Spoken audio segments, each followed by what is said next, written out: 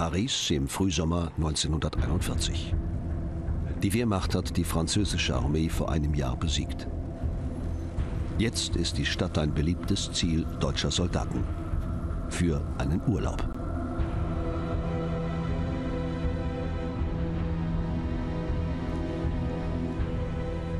Die meisten Filme von damals sind schwarz-weiß. Mit wenigen Ausnahmen wurden sie für diese Dokumentation koloriert, um besser zu zeigen, wie die Menschen den Krieg erlebt haben. Der junge Leutnant August von Kageneck schreibt, man hatte uns befohlen, makellos uniformiert aufzutreten und jeden Kontakt mit der Zivilbevölkerung zu vermeiden.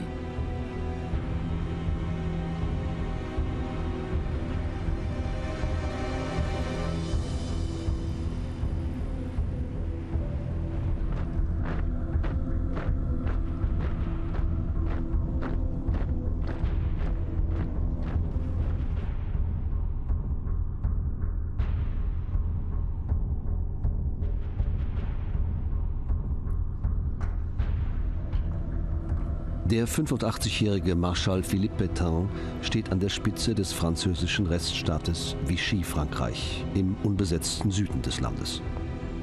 Er hat sich mit Hitler arrangiert, sieht es als seine Pflicht, die französische Nation durch diese schwere Zeit zu führen. Doch damit spielt er nur den Besatzern in die Hände. Großbritannien ist nicht besiegt. Die deutschen Bomben konnten den Widerstand nicht brechen. Die Briten stehen hinter Premierminister Winston Churchill. Der baut auf die Hilfe des amerikanischen Präsidenten Franklin D. Roosevelt. Gerade zum dritten Mal wiedergewählt, erklärt er die neutralen USA zur Waffenkammer der Demokratie. Treibstoff, Munition, Waffen und Flugzeuge werden über den Atlantik geschickt. Eine gefährliche Reise. Deutsche U-Boote machen Jagd auf die Frachtschiffe und versenken immer mehr. Die Schlacht im Atlantik entwickelt sich zur Entscheidungsschlacht über das Schicksal Europas. Wenn nicht genügend Waffen und Hilfsgüter die britischen Häfen erreichen, droht England die Niederlage.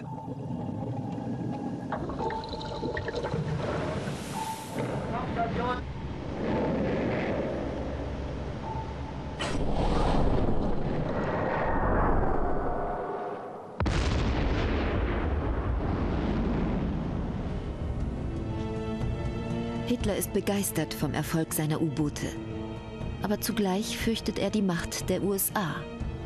Er will daher schnell die Sowjetunion angreifen, sie in vier, fünf Monaten besiegen. Dann als Herrscher über Europa Großbritannien zu einer Einigung zwingen und wenn es zum Kampf gegen die USA kommen würde, sollte Deutschland in einer Position größter Stärke sein. Die Wehrmacht beginnt, Soldaten in den Osten zu verlegen, mehr als dreieinhalb Millionen Mann.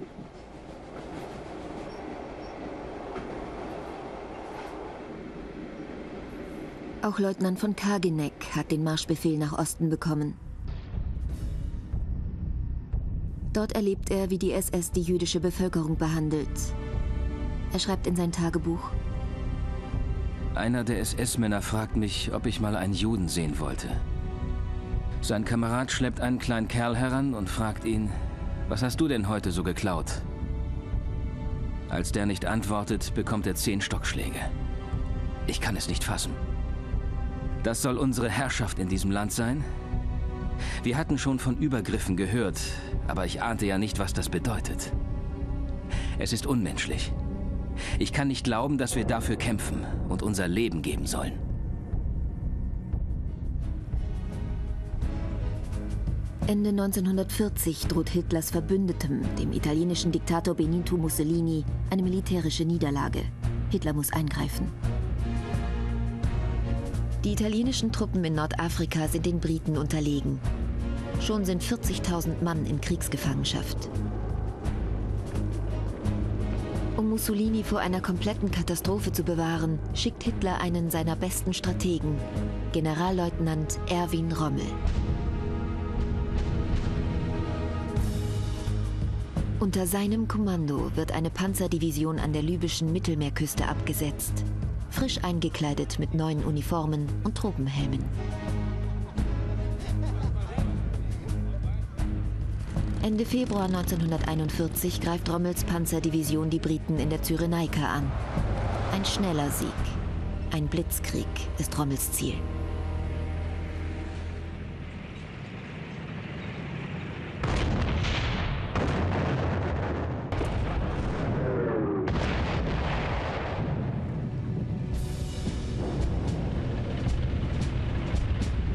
Am 6. April 1941 rückt die Wehrmacht auch noch nach Griechenland vor. Zuvor war ein Einmarsch italienischer Truppen kläglich gescheitert. Die Wehrmacht besetzt die Balkanhalbinsel mit Griechenland und Jugoslawien innerhalb von drei Wochen. Aber dadurch hat Hitler Zeit verloren, die für den Überfall auf die Sowjetunion fehlt. Moskau am 1. Mai 1941, der Tag der alljährlichen Militärparade. Stalin will die Deutschen beeindrucken. Sein Geheimdienst hatte ihn vor einem unmittelbar bevorstehenden Angriff der Wehrmacht gewarnt. Aber Stalin nimmt das nicht ernst. Er fühlt sich stark, nachdem er sich die baltischen Staaten und einen Teil Finnlands einverleibt hat. Auch deutsche Offiziere sind als Gäste geladen. Marschall Semyon Timoschenko, der neue Volkskommissar für Verteidigung, begrüßt sie militärisch korrekt.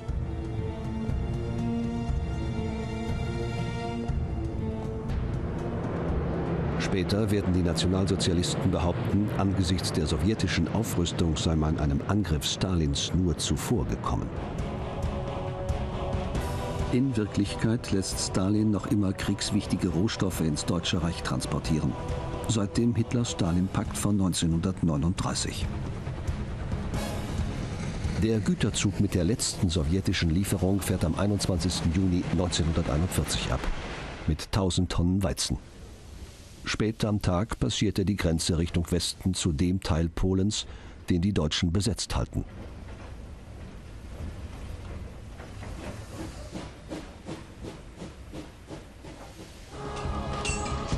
Am nächsten Tag überschreitet die Wehrmacht die Grenze nach Osten. Es ist der Morgen des 22. Juni 1941. Der Überfall auf die Sowjetunion hat begonnen.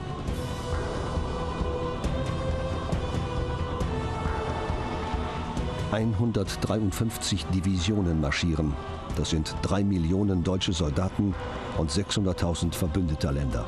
Italiener, Finnen, Rumänen, Ungarn, Slowaken. Eine Streitmacht mit 3600 Panzern, 7000 Geschützen und 3000 Flugzeugen. Innerhalb von nur 24 Stunden zerstören deutsche Jagdflieger 1500 sowjetische Flugzeuge am Boden und weitere 300 in der Luft. Die sowjetische Luftwaffe ist schon zu Beginn des Überfalls so schwer getroffen, dass sie zur Verteidigung des Landes lange nichts beitragen kann. Und die Wehrmacht rückt auf einer 1500 Kilometer langen Front vor. Dabei hat sie drei Hauptziele. Im Norden Leningrad, die Wiege der russischen, der kommunistischen Revolution, das ideologische Ziel. In der Mitte das politische Ziel, Moskau, Stalins Machtzentrale. Und im Süden das wirtschaftliche Ziel, Kiew und die rohstoffreiche Ukraine. Die sowjetischen Soldaten wehren sich verzweifelt. Bald müssen sie aber auf der ganzen Länge der Front zurückweichen. Die Rote Armee ist schlecht gerüstet und noch schlechter geführt, nachdem Stalin Ende der 30er Jahre viele hundert hohe Offiziere als Verräter hatte hinrichten lassen. Für die einfachen Soldaten beginnt dieser Krieg als Katastrophe. Und so wird es lange bleiben. Stalin ruft den großen Vaterländischen Krieg aus. Elf Tage nach Beginn des Überfalls spricht er zum Volk. أعمالنا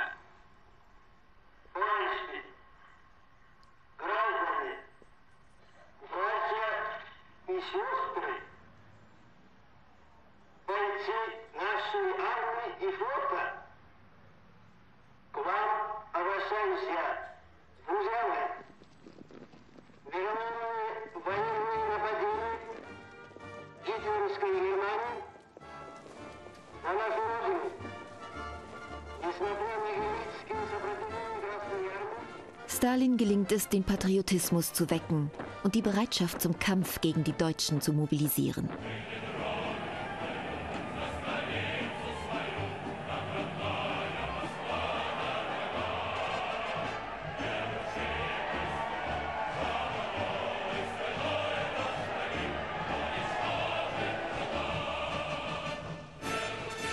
Zugleich lässt er die sowjetische Wirtschaft auf die Kriegsproduktion umstellen. Fabriken werden mitsamt ihren Arbeitern und Maschinen weit nach Osten verlegt, wo sie vor dem Feind sicher sind. Bauern müssen ihre Höfe verlassen und zuvor alles zerstören. Nichts soll der Wehrmacht in die Hände fallen. Eine Strategie der verbrannten Erde.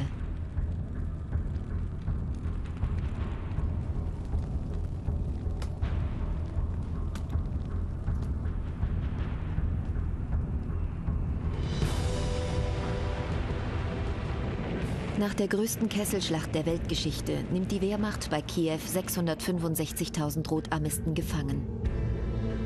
Menschen, die die Nationalsozialisten als minderwertig, als Untermenschen ansehen. Mit schrecklichen Folgen. Im September 1941 besucht SS-Chef Himmler die Gefangenenlager. Es gibt keine Nahrung, keine Unterkunft, entgegen allen internationalen Konventionen. Und die Kriegsgefangenen sind nicht die einzigen, die nur der Tod erwartet.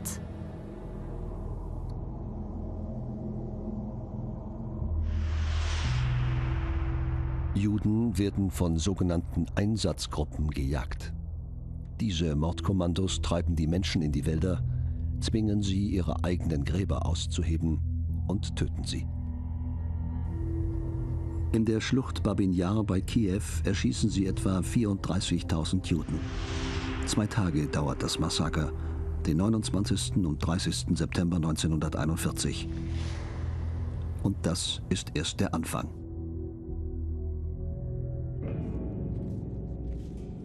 Himmler will viel mehr Menschen viel schneller umbringen lassen. Gas ist eine Alternative. Damit hat die SS schon in Deutschland Erfahrungen gemacht beim Massenmord an Kranken. Jetzt soll Gas auch im Osten eingesetzt werden. Zunächst in Lastwagen. Tod durch Motorabgase. Im Norden rückt die Wehrmacht auf Leningrad vor, das frühere St. Petersburg. Die Stadt mit ihren drei Millionen Einwohnern richtet sich auf die Verteidigung ein.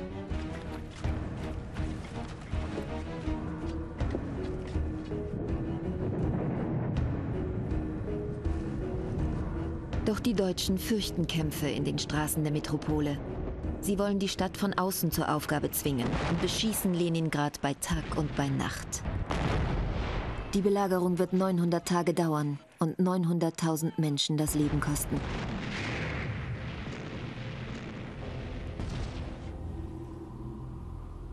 Im Süden des Landes, in der Ukraine, lassen die Lanzer es sich gut gehen. Leutnant von Kaginek schreibt nach Hause. Wir leben hier wie die Maden im Speck. Hier gibt es alles. Eier, Butter, Obst, Milch und sogar einen ausgezeichneten Rotwein von der Schwarzmeerküste. Die ukrainischen Frauen lachen uns immer nur an. Sie bringen uns Brot und Honig. Sie können uns zwar nicht verstehen, aber für sie sind wir die Befreier.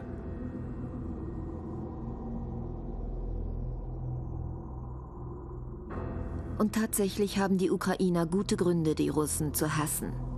Anfang der 30er Jahre führte Stalins Politik zu einer schrecklichen Hungersnot, bei der drei Millionen Menschen ums Leben kamen.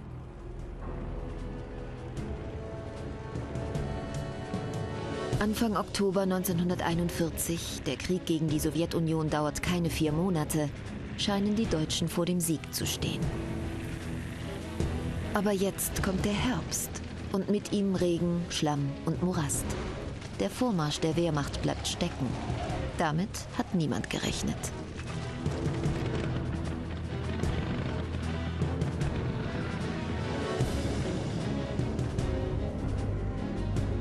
Dann kommt die Kälte. Dafür ist die Truppe nicht ausgerüstet. Hitler und seine Generäle haben Millionen Soldaten in die Sowjetunion geschickt, ohne an den Winter zu denken. Sie glaubten fest an ihren Plan, das Riesenreich in vier bis fünf Monaten in die Knie zu zwingen. Ein verhängnisvoller Fehler. Im Winter fallen hier die Temperaturen bis auf minus 40 Grad. Es geht nur noch sehr langsam voran. Um jedes einzelne Dorf wird verbissen gekämpft. Und die Kälte fordert täglich neue Opfer.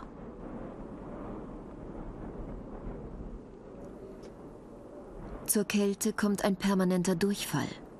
Als Schutz gegen Erfrierungen sollen die Männer ihre hintere Hosennaht aufschneiden, um nicht die Hosen ganz herunterziehen zu müssen. Die Moral der Truppe sinkt auf den Nullpunkt.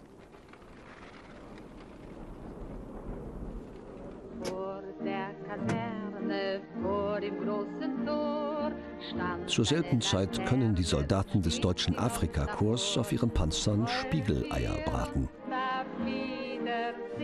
Aus den Lautsprechern schallt dazu Lili Marlin.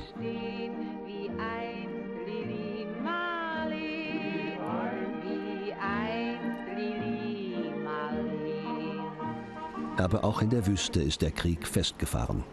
Generalfeldmarschall Erwin Rommel muss seinen Vorstoß nach Ägypten unterbrechen. Es gibt Schwierigkeiten mit dem Nachschub an Treibstoff und Nahrung.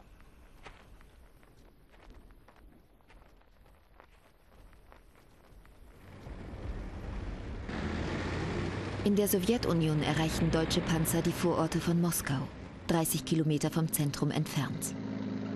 Es ist der 2. Dezember 1941.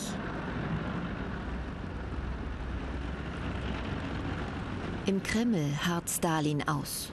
Er verlässt die Stadt nicht. Moskau ist noch nicht gefallen.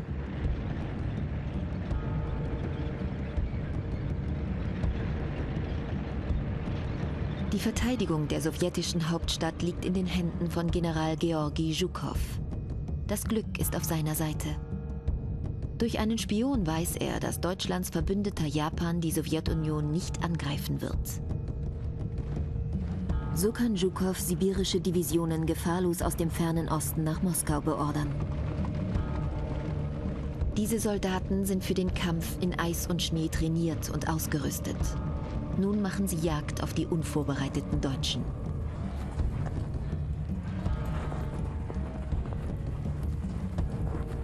Zhukov will den Feind vor Moskau einkesseln, ihn mit seinen eigenen Methoden schlagen. Zum ersten Mal muss sich die Wehrmacht im Osten zurückziehen. Die Rote Armee treibt sie vor sich her. Im Dezember 1941 werden 50.000 deutsche Soldaten getötet oder sind vermisst.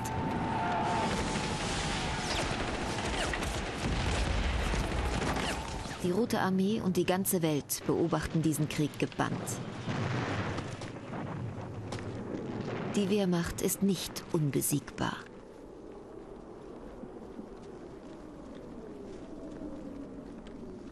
Siebenundfünfzigtausend Deutsche werden gefangen genommen und nach Sibirien gebracht.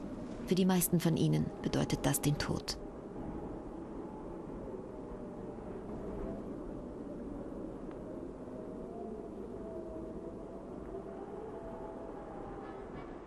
Die sowjetische Winteroffensive hat die Wehrmacht fast 200 Kilometer zurückgedrängt.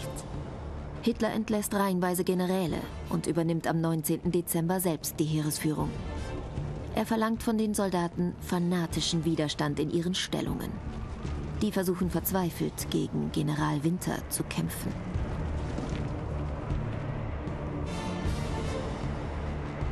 Die geschwächten und erschöpften Verbände müssen eine Frontlinie von 1800 Kilometer Länge halten.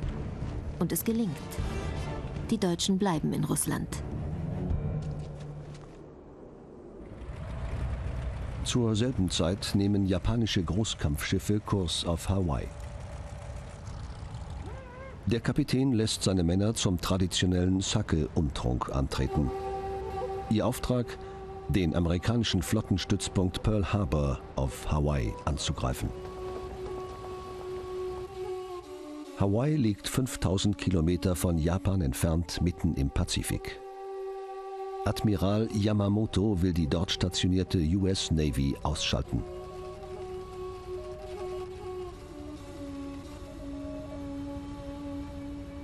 Am frühen Morgen des 7. Dezember 1941 starten Torpedobomber von den Flugzeugträgern.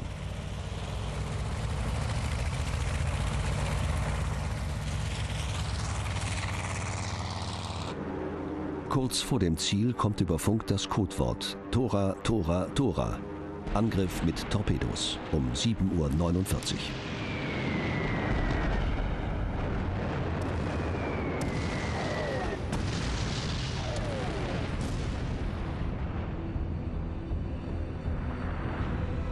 Die Aktion kommt für die Amerikaner völlig unerwartet.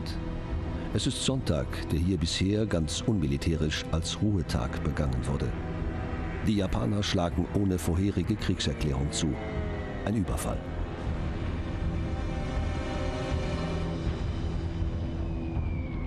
...2400 Tote auf amerikanischer Seite und 1178 Verwundete.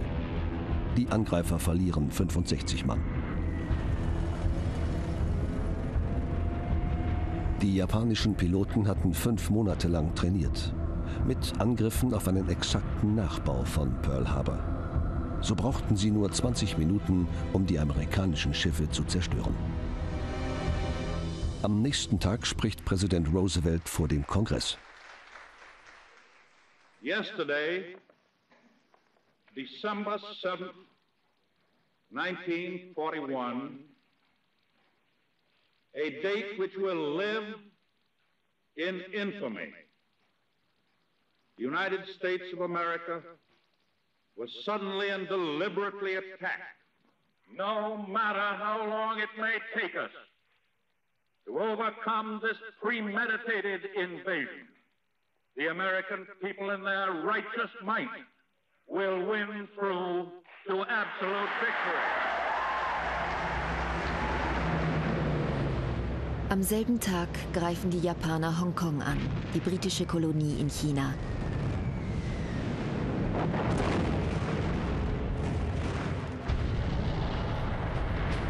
Kurz darauf bombardieren Japaner amerikanische Luftwaffenstützpunkte auf den Philippinen und erobern die Halbinsel Bataan. Japan hatte bereits Militärbasen in China eingerichtet und die britischen Kolonien Burma und Malaya eingenommen. Es folgte die niederländische Kolonie Sumatra. Schließlich bedrohen Japaner auch Indien und Australien.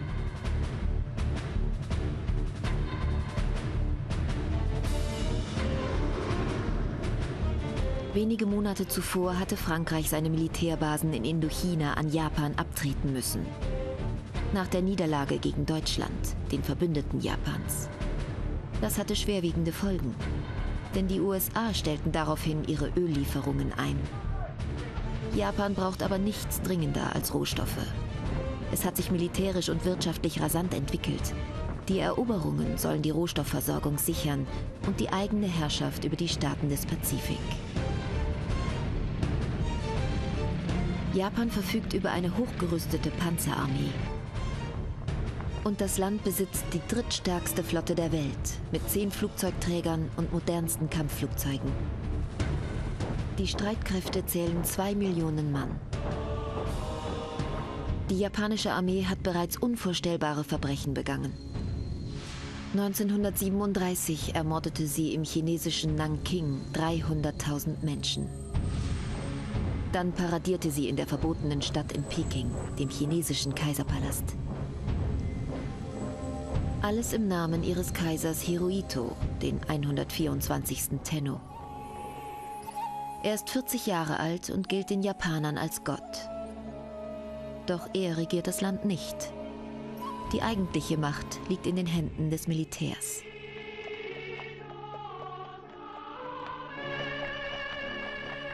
An der Spitze steht General Hideki Tojo mit seinen Ultranationalisten. Am 7. Dezember 1941, dem Tag des Überfalls auf Pearl Harbor, spricht er zum japanischen Volk. Seine Rede wird im ganzen Land übertragen.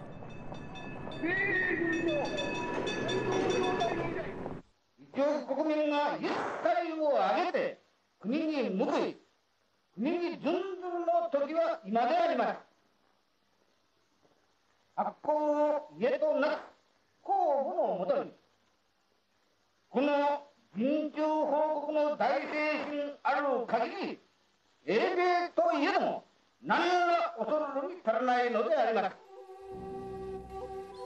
Japanische Soldaten werden von klein auf in der Tradition des Bushido erzogen, der Kunst zu töten und getötet zu werden. Bushido ist der alte Ehrenkodex der Samurai. Er fordert Loyalität, Treue und äußerste Hingabe zu ihren Herren. Mit diesen Idealen kämpfen japanische Soldaten in Todesverachtung und mit äußerster Grausamkeit.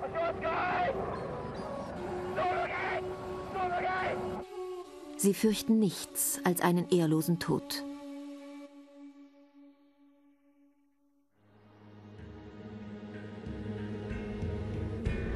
Von diesem Feind haben die Amerikaner das Schlimmste zu erwarten. Nach ihrer Niederlage auf den Philippinen kommt es zum Todesmarsch von Bataan. Ein amerikanischer Kriegsgefangener erinnert sich.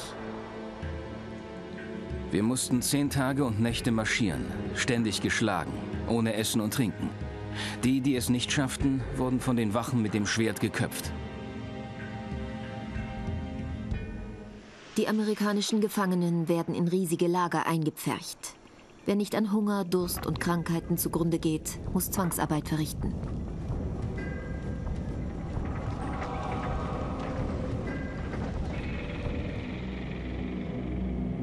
Am 10. Dezember 1941 starten japanische Kampfflugzeuge früh am Morgen. Ihr Ziel? Zwei britische Kriegsschiffe auf dem Weg nach Singapur. Der altgediente Schlachtkreuzer Repulse und eines der modernsten Schlachtschiffe seiner Zeit, die Prince of Wales. Beide werden von den Japanern versenkt. Ein Schock für Großbritannien. Das Ende des Mythos von der Herrschaft über die Weltmeere. Am darauffolgenden Nachmittag, den 11. Dezember 1941, begibt sich Hitler in den Reichstag. Die oberste Nazi-Führung ist dort versammelt.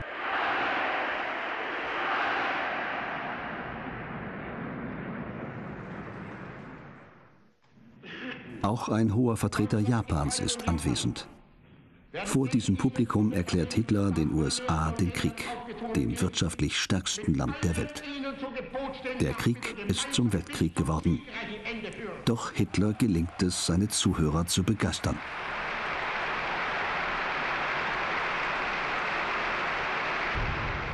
Präsident Roosevelt hatte seinen Wählern lange zeigen können, dass er sie nicht leichtfertig in einen Krieg führt. Jetzt muss er eingreifen. Mit ihm zusammen ist Churchill siegessicher. What kind of a people do they think we are? Is it possible they do not realize that we shall never cease to persevere against them until they have been taught a lesson which they and the world will never forget? Unter General Arthur Harris, genannt Bomber Harris, entsteht eine gewaltige Luftflotte. Der Plan, deutsche Fabriken und Wohngebiete zu bombardieren. Möglichst viel zerstören, möglichst viele Menschen töten. Harris ist sicher, den Krieg allein aus der Luft gewinnen zu können. Seine Strategie stößt auf Kritik. Sie ist verlustreich und kostet extrem viel Ausrüstung und Männer. Doch sie beginnt zu wirken. Am 8. März 1942 wird Essen bombardiert, eine der großen deutschen Waffenschmieden. Jetzt hat der Krieg, den Deutschland entfesselt hat, alle Deutschen erreicht. Mit fürchterlichen Folgen.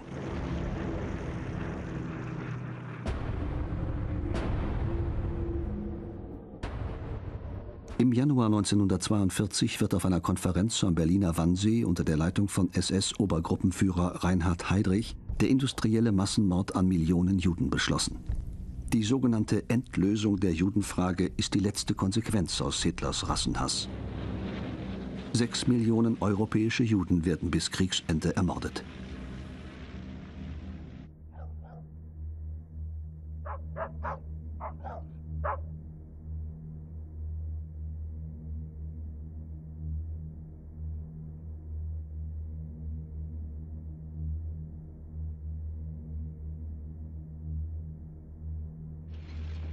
Anfang 1942 ist die Phase der größten Machtentfaltung Deutschlands und Japans.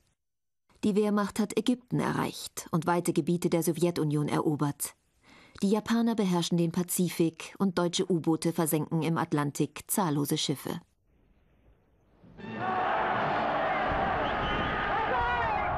Banzai, lang lebe der Kaiser. In wenigen Wochen hat Japan die alliierten Streitkräfte geschlagen und jubelt nun dem Regierungschef, General Tojo, und dem Tenno zu.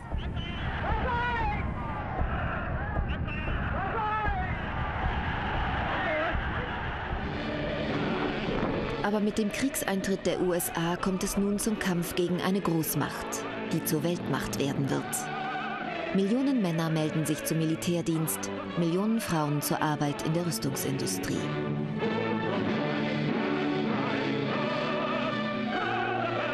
Präsident Roosevelt setzt seinem Land enorme Produktionsziele. 60.000 Flugzeuge, 75.000 Panzer, 10 Millionen Bruttoregistertonnen Schiffsraum,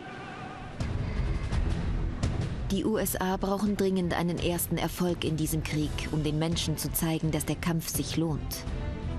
Ein riskanter Plan wird gefasst. Der Flugzeugträger Ornette nimmt Kurs auf Japan mit 16 Army-Bombern an Bord.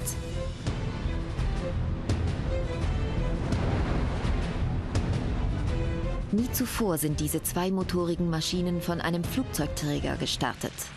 Ein Wagnis. Und es gelingt. Am 18. April 1942 hebt die Staffel ab. Ihr Ziel? Tokio. 16 Tonnen Bomben fallen auf die Stadt. Viel richten sie nicht aus, aber die psychologische Wirkung ist enorm. Japan ist nicht unangreifbar. Acht Amerikaner stürzen über Japan ab und werden gefangen genommen. Drei von ihnen werden hingerichtet, fünf zu lebenslanger Haft verurteilt.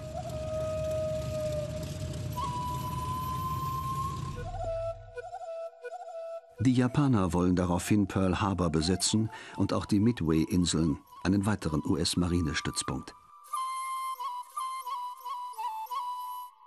Doch die japanische Führung ahnt nicht, dass ihr Funkcode entschlüsselt ist und die Amerikaner so über den geplanten Angriff informiert sind und sich darauf vorbereiten.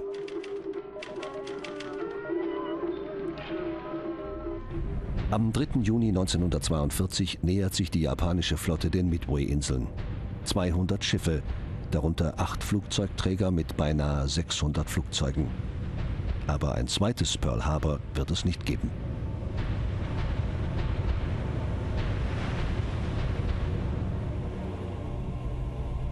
Auch 5000 Marineinfanteristen sind dabei für den Kampf an Land.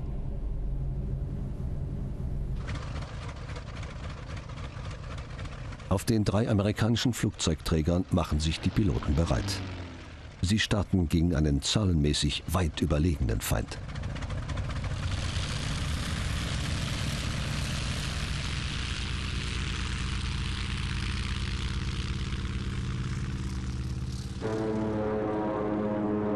Trotz aller Vorbereitung, den USA droht ein Debakel. Die japanische Luftabwehr schießt ein Flugzeug nach dem anderen ab.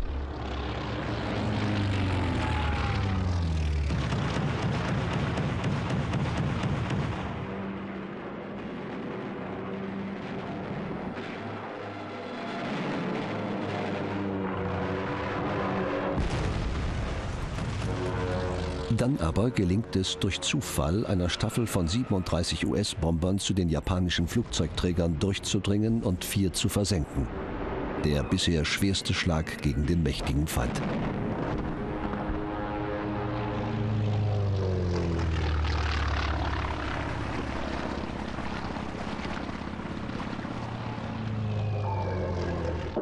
Ein japanisches U-Boot kann den US-Flugzeugträger Yorktown versenken.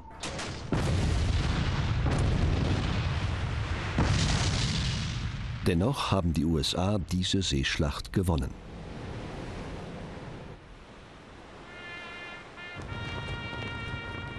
Die Überlegenheit der Japaner im Pazifik ist unter großen Verlusten der USA gebrochen. Die toten US-Soldaten werden dem Meer übergeben. Sie können nicht in die Heimat zurückgebracht werden.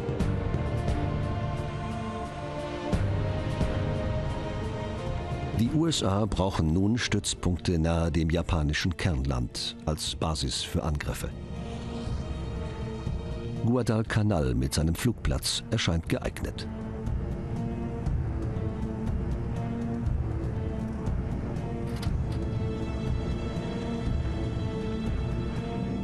Am 7. August 1942 wird die Insel zunächst sturmreif gebombt. Dann landen die Marineinfanteristen.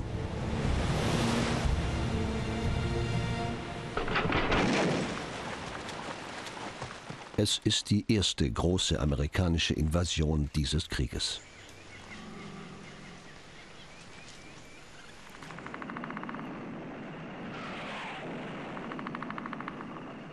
Japanische Soldaten laufen mit Bajonetten gegen Maschinengewehre an.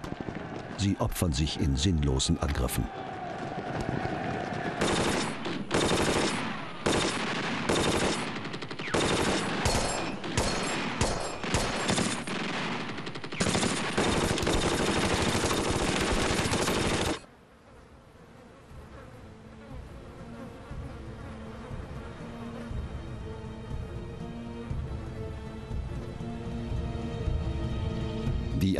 Amerikaner gewinnen die Oberhand. Es gelingt ihnen schließlich, den Flugplatz der Insel einzunehmen. Sie bauen ihn nun weiter aus für ihre eigenen Marineflieger.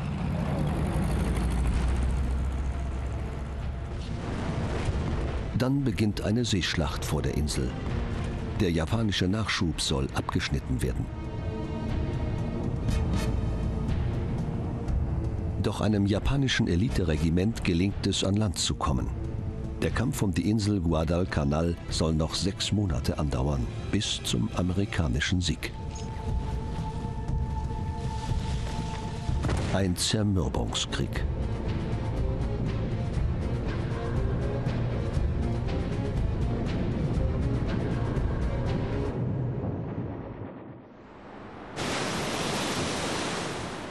Im Frühjahr 1942 versenken deutsche U-Boote vor der amerikanischen Ostküste 200 Schiffe mit insgesamt über einer Million Tonnen.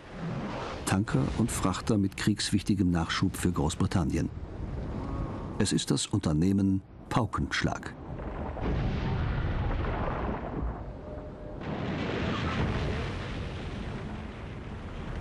Wegen des unzureichenden Küstenschutzes in den USA und mangelnder Verdunkelung sind die Schiffe hier ein leichtes Ziel für Hitlers graue Wölfe. Nachts tauchen sie auf und gehen auf die Jagd. Durch ihre Seerohre filmen sie die Lichter von New York.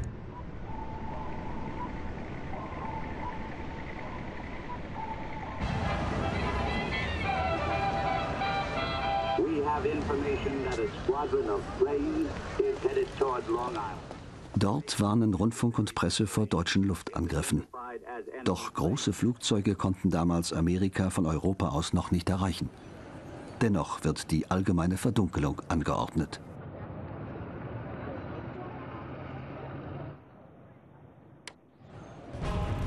In der Sowjetunion kann die Wehrmacht im Sommer 1942 wieder zum Angriff übergehen. Hitler und seine Generäle verfolgen eine neue Strategie. Sie planen eine riesige Zangenbewegung, um die Ölfelder des Kaukasus zu erobern. Zugleich soll Generalfeldmarschall Rommel die Ölfelder im Nahen Osten einnehmen. Öl schmiert die Kriegsmaschinerie.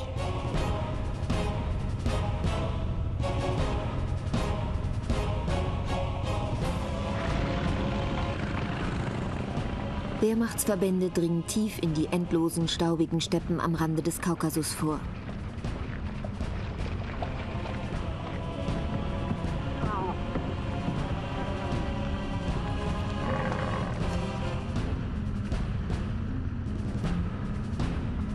Sollen bis zur persischen Grenze vorstoßen, von wo aus die Amerikaner Nachschub in die Sowjetunion liefern.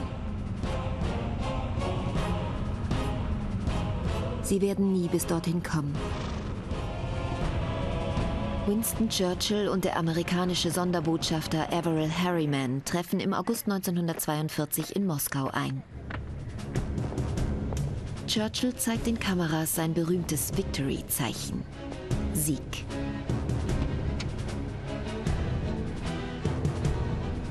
Aber die Forderung Stalins, endlich im Westen eine zweite Front zu eröffnen, kann er nicht erfüllen. Und auch Harriman verspricht nur mehr Lieferungen von Waffen und Nahrungsmitteln. Die Sowjetunion muss weiter allein gegen die Deutschen kämpfen. In dieser Situation wehren die Russen den Feind mit allen Mitteln ab. Sogar Hunde werden als Waffe gegen Panzer eingesetzt.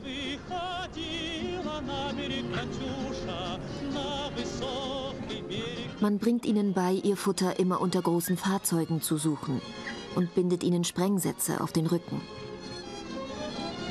Wenn die Tiere unter herannahende Panzer laufen, löst ein Hebel die Explosion aus.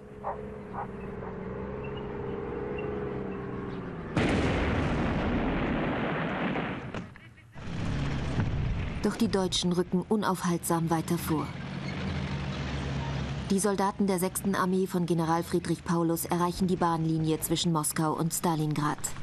Sie folgen ihr bis Stalingrad. Die Schlacht beginnt. Sie wird fünf Monate andauern.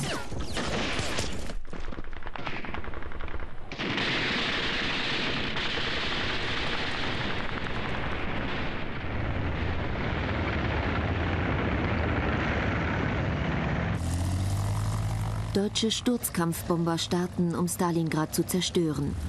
Die große Industriestadt an der Wolga mit ihrem Stahlwerk und einer Geschützfabrik. Und mit 600.000 Einwohnern.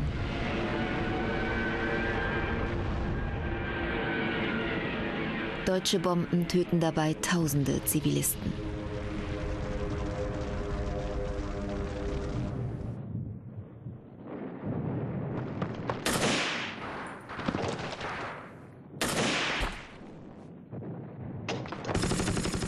Stalingrad. Das ist ein schier endloser Kampf. Straße um Straße, Haus um Haus.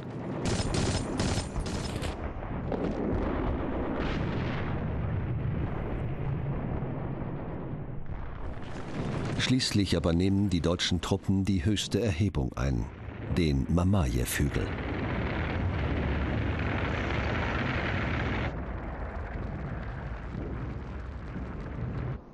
Von dort aus kontrollieren ihre Geschütze Stalingrad. Die Rote Armee hält nur noch einen schmalen Landstreifen an der Wolga.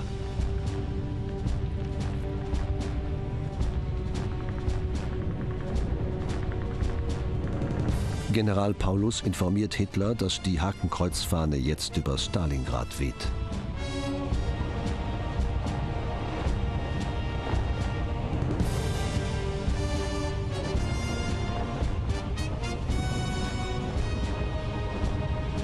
Hitler, seine Generalität, die Nazi-Führung. Sie alle sehen den Sieg in greifbarer Nähe. Und Hitler lässt sogar schon eine Gedenkmedaille prägen für seine Helden von Stalingrad. Zu früh, wie sich bald zeigen wird.